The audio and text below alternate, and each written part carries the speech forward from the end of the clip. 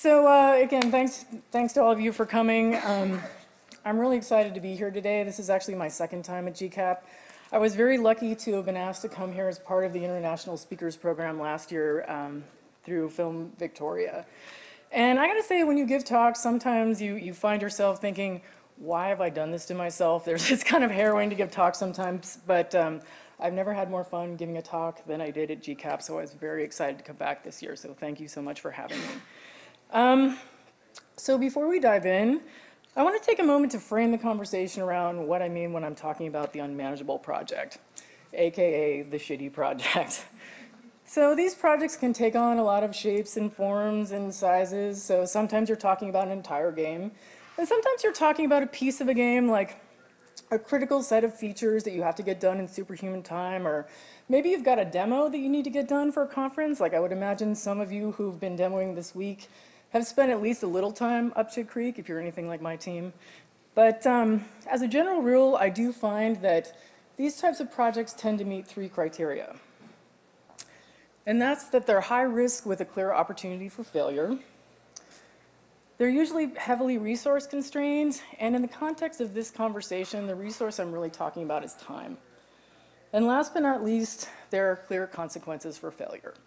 So something's bad's gonna happen if you can't deliver. It could be something like, oh, well, I don't get that promotion I was hoping to get, or my team has run out of money because we couldn't finish in the time that we'd specified. So Unfortunately, the reality of the games industry is that if you spend any amount of time working in games, you will find yourself on a crazy, shitty project with an insane deadline, and you're going to have to find a way to make it work. It, you know, it just kind of goes with the territory, especially these days when we're forced to do more with less. It seems like all of us, whether you're a big company or a small company, that that's our reality. But I don't necessarily think that it has to be a terrible, hard thing. So I spent a lot of time working on these kinds of projects, and uh, I kind of like them because it's a bit like dumping a bunch of puzzle pieces out on a table and kind of going, I don't see how these will logically fit together, but I know that there's some way that they can. So if you look at it in the right frame of mind, it can be pretty fun. So I should probably take a minute to introduce myself. My name is Amy Dallas. I am a co-founder of Clutch Play Games out of Portland, Oregon. I'm on the board of directors of the Oregon Games Organization, which is a little bit like Film Victoria, Creative Victoria um, for Oregon. And uh, this year I was on the advisory committee of the Austin Games Conference, which is the closest thing I've found in the US to, to uh, GCAP. So if you ever get a chance to go, I highly recommend it. So Clutch Play has been around for about six years, but my team and I have worked together for many years before that. We actually started out as part of a larger studio system, and um, we're all AAA vets from the Bay Area, and we moved to Portland in search of a better way of life, cheaper housing, shorter commute times, better booze and coffee, and the things that make life worth living, right? So, um, because we all have that AAA background, and we we do develop our own games, but we actually started doing some consulting a couple years ago.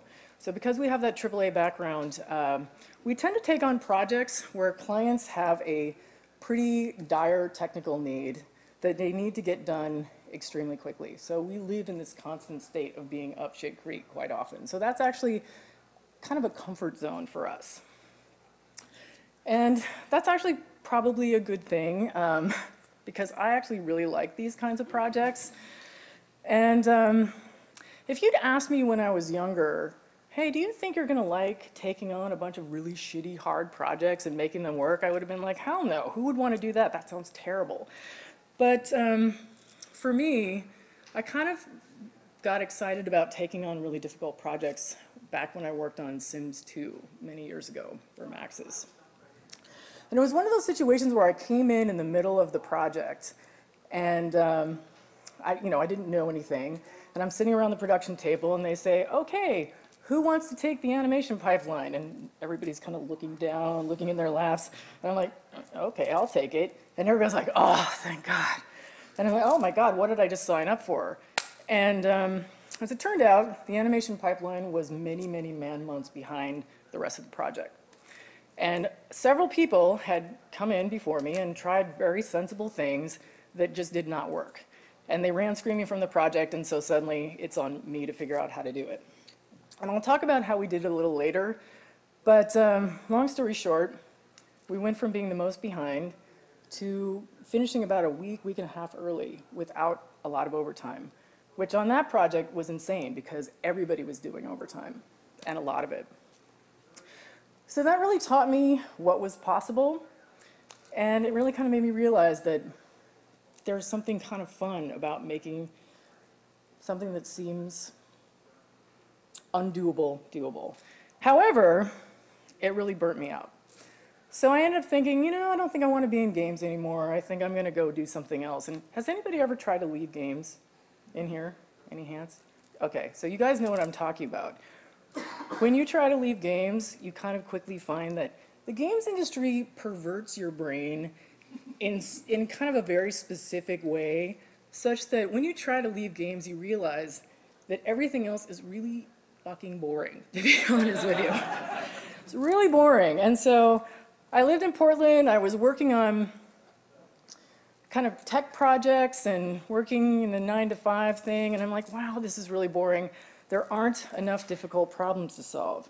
And I've come to think of this as the Hurt Locker effect. I don't know, have you guys seen the Hurt Locker? So the guy has a bomb diffuser and he's used to keeping things from blowing up.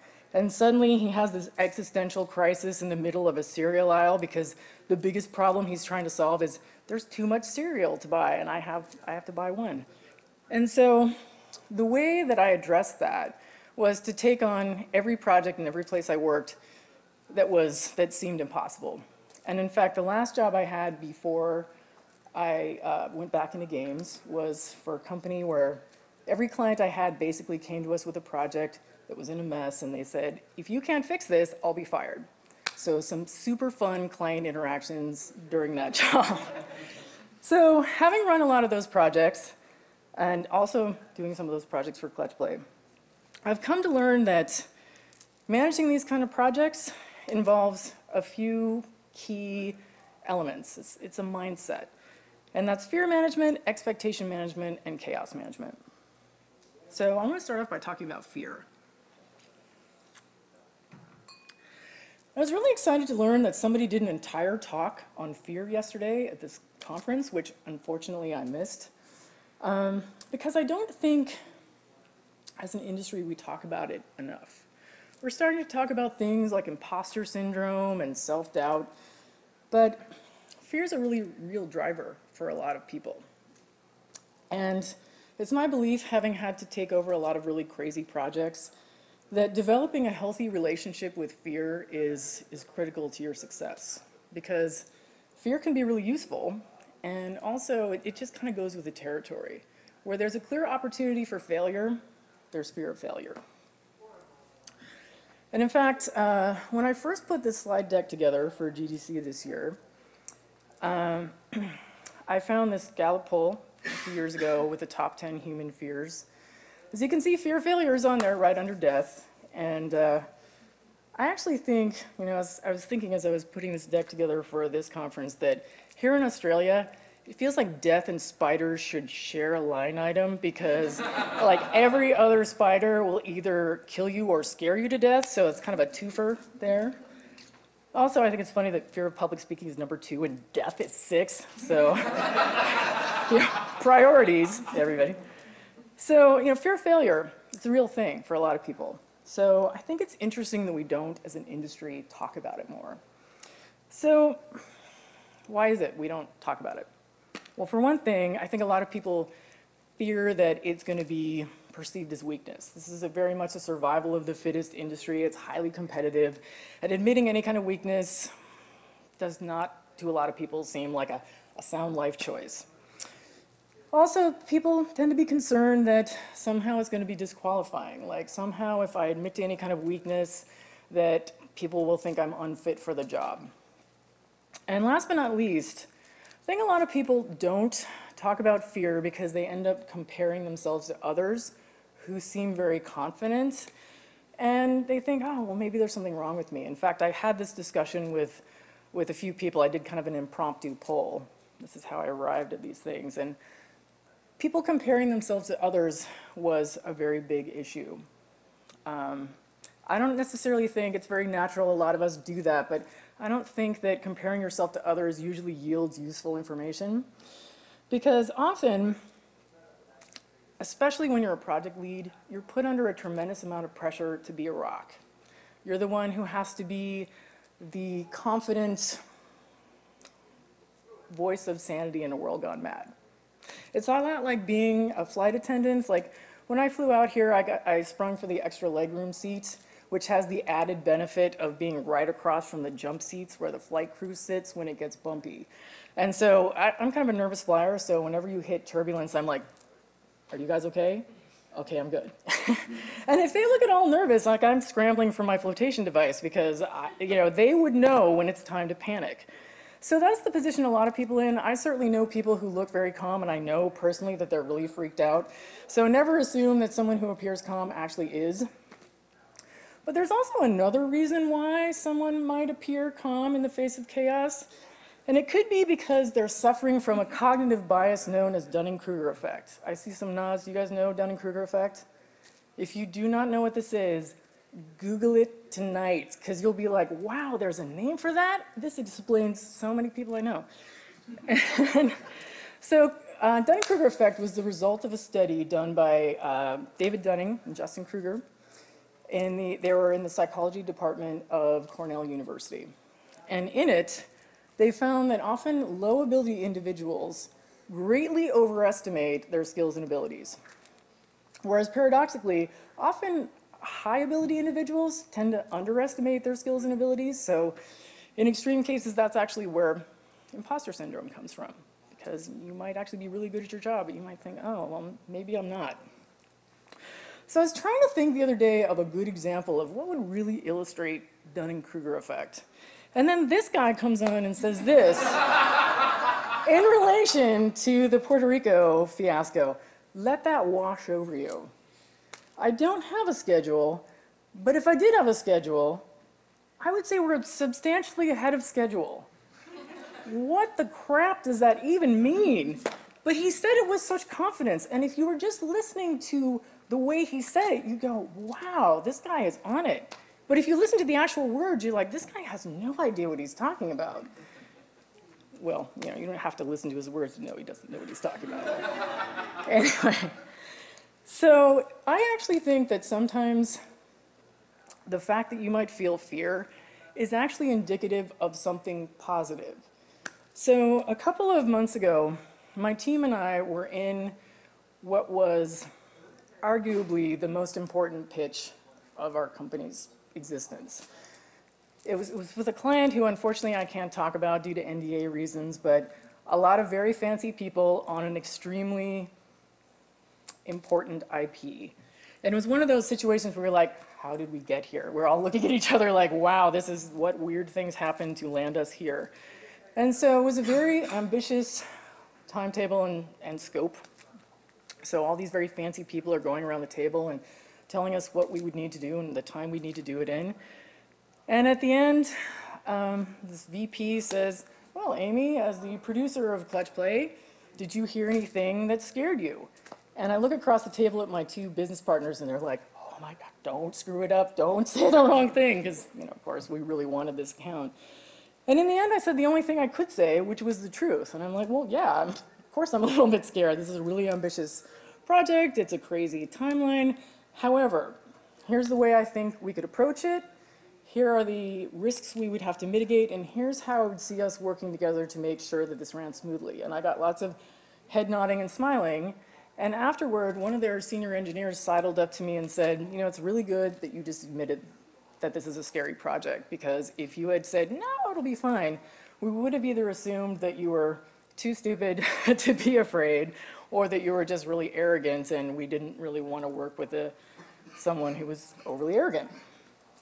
So not always a terrible thing to feel fear. In fact, the primary purpose of fear is to keep us out of harm's way. So if you look at this from an evolutionary standpoint, the reason we're, why we're all sitting here is our caveman ancestors, when they saw a saber-toothed tiger, instead of running up and petting it going, you're fuzzy, they would run because petting it would result in death, right? So the reason why we feel fear is to make sure we, we avoid things that are dangerous. And also, I find fear to be really instructive on these kinds of projects. Whenever something is really keeping me up at night, that's almost always the thing that ends up going sideways. So because I've spent so much time worrying about it, I have plans A, B, C, and D ready to go. When something happens, I can very decisively act on it because that's the thing I was worrying about, and I was planning for that to go wrong. And uh, last but not least, uh, fear can be a really potent driver of success. So I find when we're working on our own projects, there are times where, you guys have probably been in a similar circumstance, where things don't seem to be moving as fast as they should be, and I find that often that's the result of uh, somebody being stuck in a perfectionism loop or a self-doubt loop. So they're like, ah, this is not quite right, I don't know what to do with it, and um, they just kind of spin and spin and spin. And so when that happens, I find often injecting a potential point of failure is actually really useful. Um, so for example, I've, I've done things like if, if somebody is, is stagnating, signing us up to demo our game at a conference in like three weeks. Like, hey, everybody, you better get over it because we're going to look really stupid if we have nothing to show in three weeks. And suddenly everybody kind of snaps out of it. And they start focusing on what is the best thing I can do in this period of time versus what's the ideal thing to do. So one final thought about fear. When you're sitting in the pressure cooker, sometimes fear boils over and people freak out. And generally, when you are a producer, a project lead, or a DD, you are in the crosshairs of that freak out. It just kind of goes with the territory. So it's really important to remember that as stressed out as you might feel, other people on your team might be feeling it even more acutely. So uh, that is actually never more painful when the person who's freaking out is in a position of authority above you whether it's a senior manager or a client, because that often manifests in some really unfortunate ways. Things like harsh criticism, micromanagement, questioning your abilities, that fun stuff. And unfortunately, that is exactly what you don't need, right? Because you're actually needing to focus all your efforts on getting things done and feeling confident about doing that. So I find when that does happen, the best thing to do is hit it head on and not suffer in silence. So especially when I worked for that company where I almost exclusively took on projects for clients who were going to be fired if I couldn't deliver for them, these were very stressed out people with a lot at stake. And so, of course, they were freaked out. Are you sure you know what you're doing? Let, you know, maybe we should do it my way. And lots of very unproductive things. And generally I found that when I was in that situation, the best thing to do was sit down with them, as scary as that can be, and say, listen, I know how stressed out you are. I get what's at stake, and I hope you can see that the, we as a team are doing everything we can to help you. But the way we're interacting is not productive. So if there's something you need me to do differently, I'm happy to do it. But um, these kinds of interactions are adversarial, and we need to be partners. And in every single case, that has gone down very well and it's resulted in all of us walking away as, as better partners. And in fact, everybody I've ever had to have that conversation with, I'm really close friends with to this day. So scary as, as it is, I highly recommend it. So we have covered a lot of ground on fear management. Let's move on to expectations. Because becoming really good at expectation management sort of directly correlates to becoming good at managing insane projects. So today I want to talk about the three components of expectation management. And that is planning, scope and schedule control, and communication. So let's start off by talking about planning first. And I'm guessing that pretty much everyone in this room knows more than the basics of project planning. So I want to focus on some of the weird nuances of planning that can cause things to go sideways later on. First is inadequate upfront communication. It's really easy to assume that everyone is on the same page especially when you're all sitting in the same meeting. So of course you're like, well, we, we all know the same information. How could we not be on the same page? And yet there's no way of knowing whether people are on the same page unless you explicitly have those conversations. And it's really important on these kinds of projects, any project really, that uh, everybody is bought into the goals of the project, that they understand the risks, that they know what their responsibilities are, and they've internalized the consequences for failure. And I don't know about you, I would much rather annoy my team and make absolutely sure they know exactly what's expected than get a really unhappy surprise down the line. Succumbing to the urge to act first and plan later. So this is actually a big one for larger game companies, especially when the heat is on. There's a lot of temptation to just grab your team and run in a direction as fast as possible because bigger companies want to see movement. Like, I don't understand why I'm not seeing progress. So it's tempting to just want to show them progress and start running. But you can't really be sure you're going to wind up where you want to go if you don't have a clear map of how you're going to get there. So it's really important that you start every project with a pretty clear understanding, shared understanding of what your responsibilities are. Because if you don't, um, it also opens you up to a lot of time-wasty scope creep. And especially if you're a consultant, that can be really expensive. Overcommitting, in other words, failing to use the word no when appropriate. This is a really hard one for people who suffer from wanting to be a pleaser. And this is something that I actually really struggled with when I was younger. I, I always felt like I wanted to please. It was very hard to say no. But on these types of projects, especially where time is really tight, you have to focus on what's practical and not what's ideal. So that definitely means you got to say no at times. Too much process.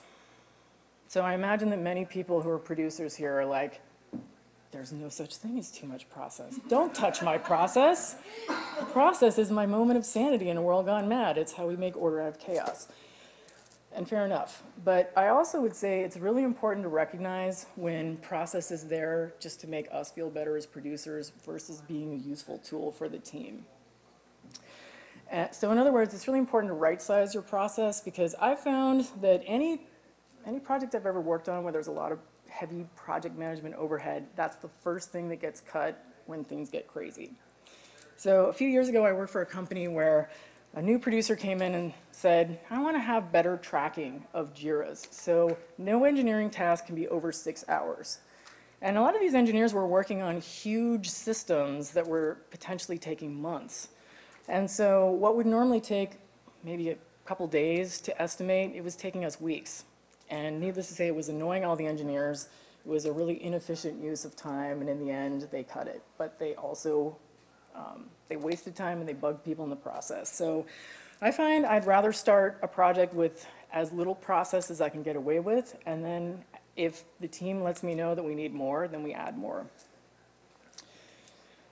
Uh, failing to stay focused. This is another kind of tough one. Because on a lot of these projects, you end up having this fight between what's good for the big picture and the small picture. When you're trying to get something done in superhuman time, you cannot worry about the big picture. That is not something that is anything you can think about. So when you start finding you're having a lot of those big picture, small picture conversations, it's a really good opportunity to just sit everybody down and reset. If some of these big picture issues that people are concerned about are really important, then you actually have to find a way to, to open up your timeline. Otherwise, you need to let it go. And uh, last but not least, assuming that additional resources will solve all your problems. There is a great production saying, it's one of my two favorite production sayings, next to it is what it is. And that is, you can't put nine women in a room and have a baby in a month. Have you guys heard that? it's, it's one of my favorites. Mm. And when you're under the gun, it's really tempting to throw resources at the problem to try and fix it. And when you work for a larger game company, that's actually a thing you can do. Not so much when you're an indie, but larger game companies do tend to panic and say, throw resources on it. But that's not always the answer to everything. And in fact, so Clutch Play, when we did our first consulting gig, we had a really crazy timeline on that project. We had to get an MVP out pretty ambitious scope in 12 weeks, including a month of QA. So it was really tight. And we came in there with a very, very tight scope, and we felt really confident we could do it. And it was our team and a couple of people from the client side, and, um, and we just put our heads down and we did it. And we actually finished a day early. And so the clients were like, oh my God, we didn't even think you could do this at all, let alone finish a day early. This is fantastic. So imagine if you could do that much with a small group. Imagine what you could do with twice that number of people. So the second phase, they just threw a bunch of people at us, and it was just chaos. Because there were people of different skill levels, there, we had to ramp everybody on our process, it was harder to maintain code standards, and just getting everybody ramped up while we were trying to actually hit our dates, it was, it was tough. And we did finish, but it was, it was definitely rocky. So I find when the schedule is really tight, I would much rather have a smaller group of very focused, skilled people than just the chaos of throwing people on and, and hoping it works out. So let's actually move on to scope and schedule control, which goes hand in hand with communication. By the way, do you guys know what CIA, CYA means? Is that a thing you say here? Cover, cover your ass? Oh, oh, you, you say that? Okay, good. Didn't know if that was a, an American thing. so, um, so it's pretty important when you're on a rush project to hold yourselves to really high standards. That's what you have to do to get it done. So in order to do that, you have to establish some kind of framework that holds everybody accountable for their actions and decisions. And that includes you, your team, your clients, senior management, everybody. Everybody's pretty much got to walk the line. So a big part of that is actually through transparency. You can't really have accountability unless you have transparency. So it's really important to keep pretty detailed, consistent reporting, written and verbal, all the time. And I know it sucks. Status reports suck. They're not fun. Stand-ups, stand-ups suck less than status reports, certainly. Uh, but um, status reporting, I think, is really important. And if I'm going to cut corners somewhere, it's never going to be there because it is really important that everybody knows what's going on. Again, that's the CYA, covering your ass factor. And it's really important to keep a list of, you know, keep a running tab of what's going well, what's at risk, what's not going so well. And actually, when I was putting this talk together for GDC, my GDC advisor asked me, well, how do you actually get people to read status reports? And that's a really good question. So back in the day, I was on the SIMS Online, the now defunct SIMS MMO, and I was the community liaison to production. So basically, it was my job to funnel all the, the horror going on in the live game back to production. It was like exploits and bugs and terrible people doing terrible things to each other so that, so that we could fix it as a team. And so I was often basically sharing a lot of really depressing information. And I found the only way I could really make that bitter pill go down was to stuff that status report with as much gallows humor as I possibly could. And I always knew when people were reading my status report, because I'd hit send and within a few minutes I'd hear lots of giggling and groaning in the team area. In fact, uh, somebody at one point came to me and said, you know, it'd be great if you'd make that less funny because like the senior people at EA are now reading that report, so maybe, maybe tone it down a little because we don't want that kind of attention. So, um, yeah, so there, there are ways you can get people to read status reports, but I would also say not all status reports have a huge audience. Like I have one client, I do a daily status report for him. He's an audience of one, he's the head of engineering. I do CC everybody on the team, but I know he's the only one who reads it because he tells me when he sees something he likes and he tells me when he sees something he doesn't like. So, but it is always good to make sure everybody knows what's up. Trade-off tracking. Oh, sorry, whoops. Um, so accounting for things that were not planned for. Doesn't matter how great a producer you are, things are gonna come up you didn't plan for. We all know that, it's just part of the territory. And um, when that happens, usually there's an obvious, if there's an obvious trade-off, it's a, if it's important enough, then you, it usually is at the expense of something that you plan for. So it's really important to keep track of the things that you didn't plan for, so that you can account for those when you're making those kinds of trades. And when you do have to make trades, it is important to make sure those are noted at all times because I find, especially when you're working with clients, that when decisions are made in the heat of the moment, those are rarely remembered at the end of the project. So you get to the end often and they'll say, where was that feature that it's, I can see it right here in the initial scope and you have to go, haha, see right here, remember on this date we swapped it for this and, and we all agreed to that. So again, very important to do that to make sure that you're not stuck holding the bag on um, some, some scope creep that you're accountable for at the end of the project. Uh, running lists of current action items. This is actually a big thing when you do weekly status reports. I actually find this is really useful for me because often if I have like a client call, um, I'll take down my list of action items and I'll say, oh, wow, half of these are mine and I've only done a few of them. So it gives me a chance to run around and make sure that I'm consistent with what I'm supposed to be doing. Um, but also I find this very useful when it comes to action items that are related to clients or senior managers. So for example, if you have an action item that's sitting on a senior manager, like let's say they owe you a decision or a document or you know, something that you need to keep your progress moving forward, and that action item sits open for a while, then uh, they're going to be much more forgiving if they're the ones who are the bottleneck than if you're the one who's the bottleneck. So it's really important to keep that visible at all times. Out of scope requests. It happens every, every, every time. So whenever there is no obvious trade-off for an out-of-scope request, it's, um, it's really important to keep track of them. And again, when you have to keep scope tight, when you have to say no, um, often those things you can't accommodate. So at least you, you, you, you have to tell people you can't accommodate them. But there's usually always a little bit of wiggle room at the end of the project. So for us, whenever possible, we will try to accommodate out-of-scope requests when we can. And when we do, we keep a running list of all the extra things that we did that were outside of scope. And um, this can be very useful. So a few years ago, this is when I was outside of games. I had a client I really liked. The project was going pretty smoothly, and she had a lot of out-of-scope requests. And so I pretty much accommodated all of them because she was great and we could. But right at the end of the project, she called me one day and she said, look, I've got these five other things I need to do, and I just really need you to do them. And uh, I, I couldn't, couldn't accommodate. So I'm sitting there and I'm thinking, how do I very politely tell her that I'm just not going to do this? And as I was thinking about how I was going to do that, I let out this unconscious sigh. And, and all of a sudden she's like, oh, oh, oh, I hear what you're saying. I totally, now you got, you have given me a lot of stuff. I totally understand your point.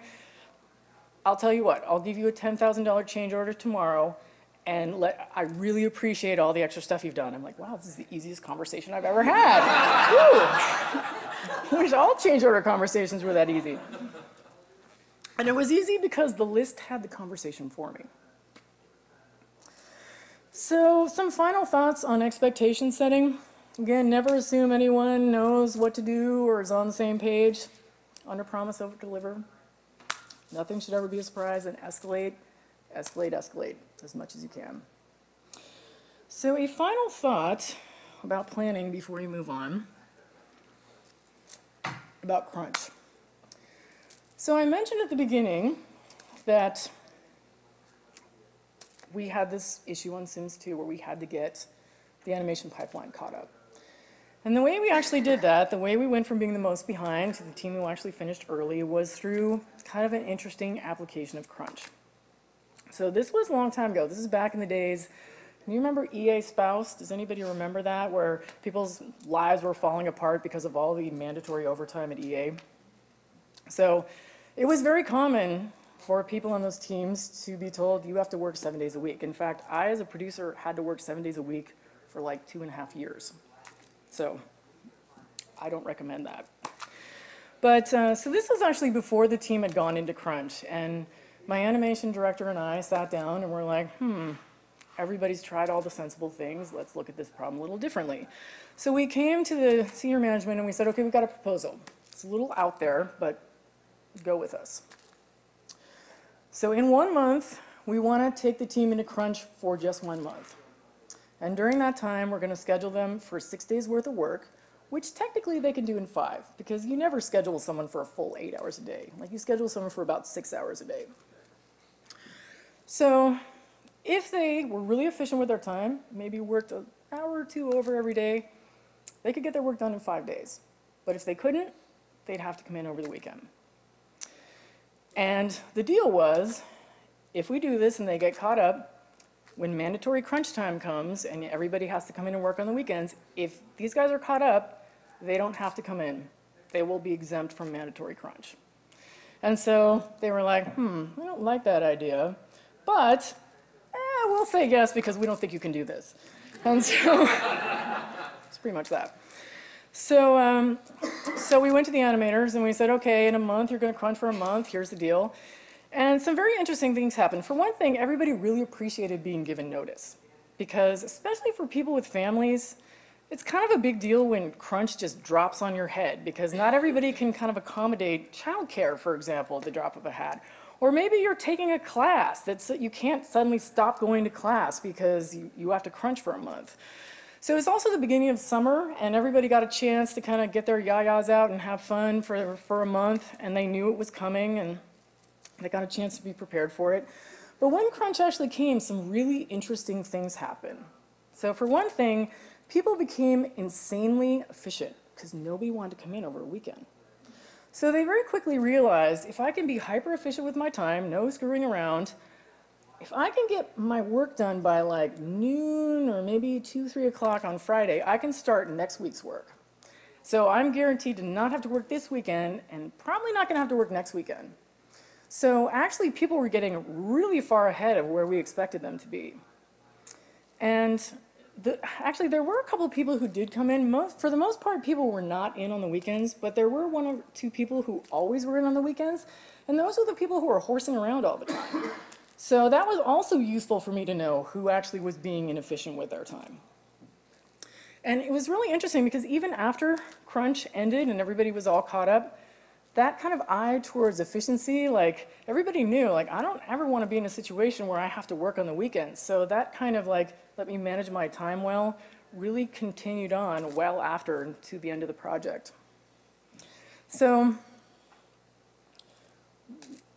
as I said, my team and I, we kind of live in a shit creek universe because we're often taking on really high risk, difficult projects. And when that happens, we, we don't actually crunch a lot because I don't think we usually need to. We can usually find a way to not do that. But when we do use crunch, we tend to front load it just to get a little bit of velocity. We don't necessarily crunch towards the end because I'd rather crunch a little bit early than be frantic at the end. So Little thoughts on crunch?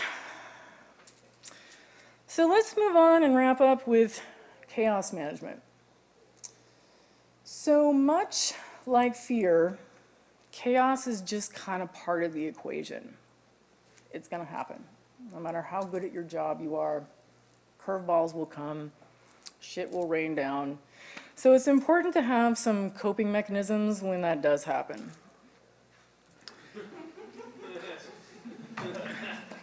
got to have a goofy cat.